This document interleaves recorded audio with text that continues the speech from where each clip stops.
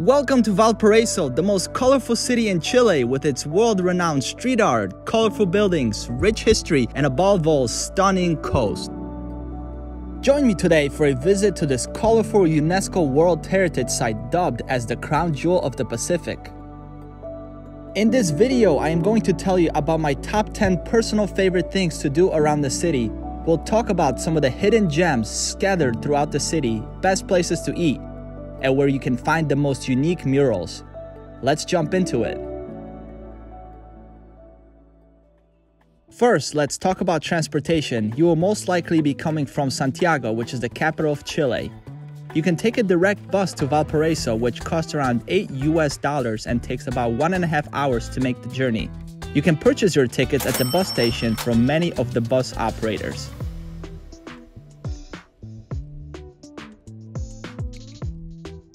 One of the most popular neighborhoods here in Valparaiso is the Cerro Alegre, which translates to Cheerful Hill, which perfectly lives up to its name. From the moment you arrive, you'll be greeted by the buildings painted in every color of the rainbow. And pay attention to these paintings as each of them tells a different story.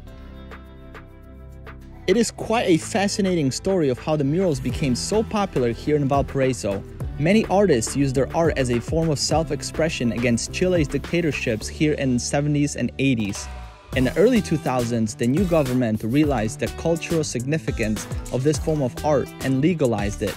Soon after, the shop owners began to commission artists to paint their buildings, or the artists themselves would offer to paint as a form of free advertisement. No matter where you look in the city, there probably is a graffiti or some kind of art on the wall.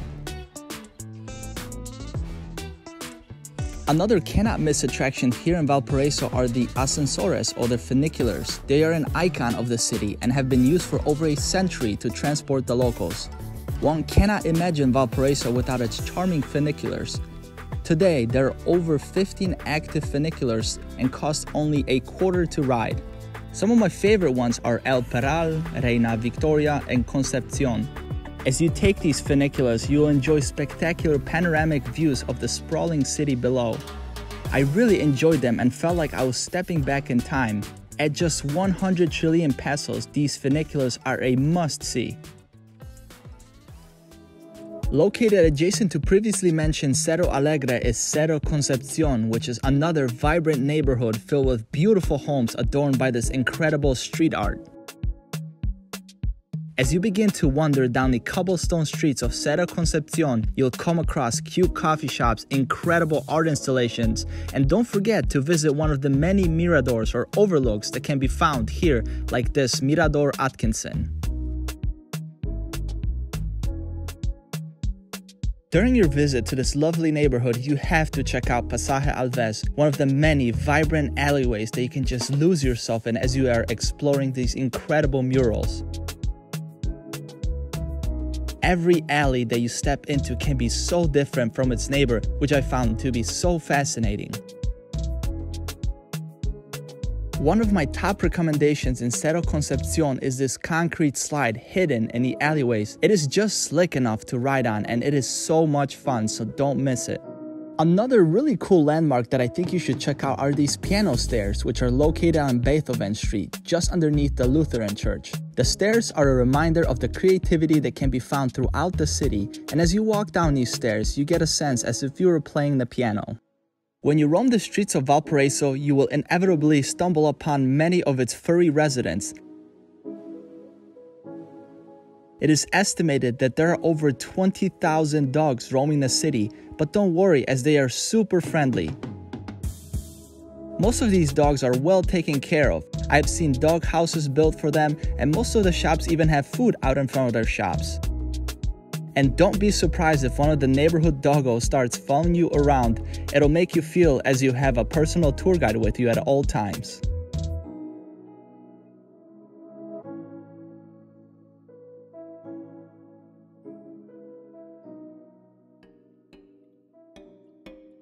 My next must-see stop on your visit to the city of Valparaiso is Plaza Sotomayor. This plaza is centrally located in the heart of the city near the port. This beautiful blue building is one of the most impressive structures in the city and it is the headquarters of the Chilean Navy. Right in front of the building, you will find a monument of the fallen naval officers who died in the Battle of Iquique. The plaza is filled with street vendors selling variety of products, and if you are looking for some souvenirs to bring back home, this is a great place to start. While you're enjoying Plaza Sotomayor, I encourage you to check out Valparaiso's waterfront. The port of Valparaiso has a rich history dating back to the 16th century. It became especially important during the California gold rush as it was a hub for ships that traveled between the Atlantic and the Pacific Ocean before the Panama Canal.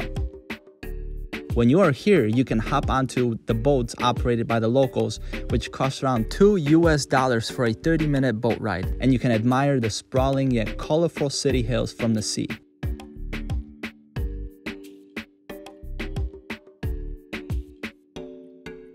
There are many souvenir shops located here in Muelle Prat, which is conveniently located just across from Plaza Sotomayor, but my favorite thing I did while exploring the waterfront was listening to the waves crash while watching all of the different Navy ships docked in the harbor.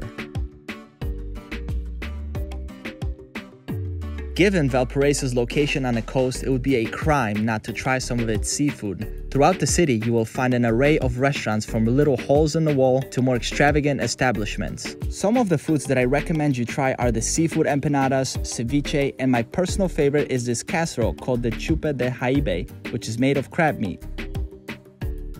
As you wander around the streets, do not be afraid to walk up to the food vendors and ask to try some of their goods, as they are so delicious.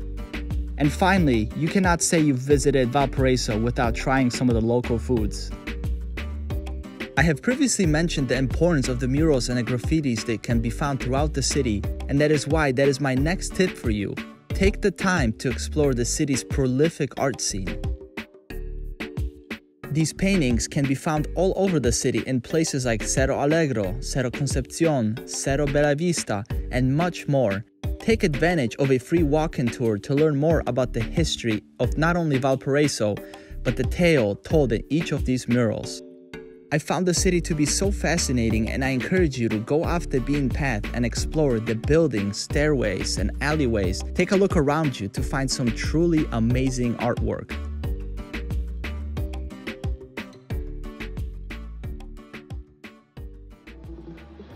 As you are searching for murals, keep your eyes and ears open to hear the sounds of the many local artists who often perform out in the street.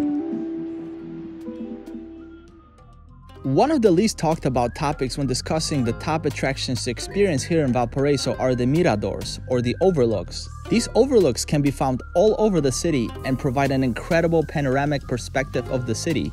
You see, the city is built on many hills, and these overlooks will help you discover places that you may not have seen while walking down the streets. To help you plan, here's a list of my favorite overlooks that I found throughout the city.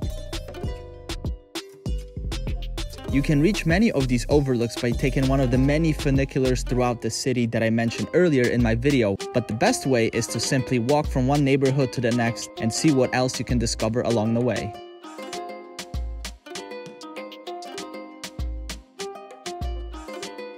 And my last tip for visiting Valparaiso is for you to have an open mind when coming here. The city felt super safe and clean and the locals were super friendly.